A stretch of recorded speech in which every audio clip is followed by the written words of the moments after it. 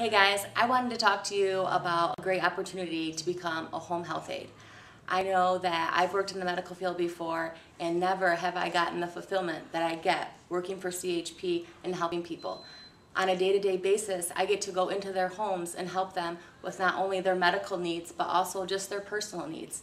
From grocery shopping to helping them with their home to just basically talking to them and being their friend. I know that I've had a lot of other jobs and this has been the most fulfilling job that I've ever had. And I would hope that if you are thinking about being in the medical field or just want a career change, this is something that you would try.